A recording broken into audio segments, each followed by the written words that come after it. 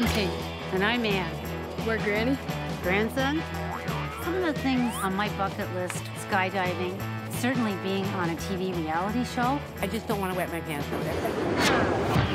with it.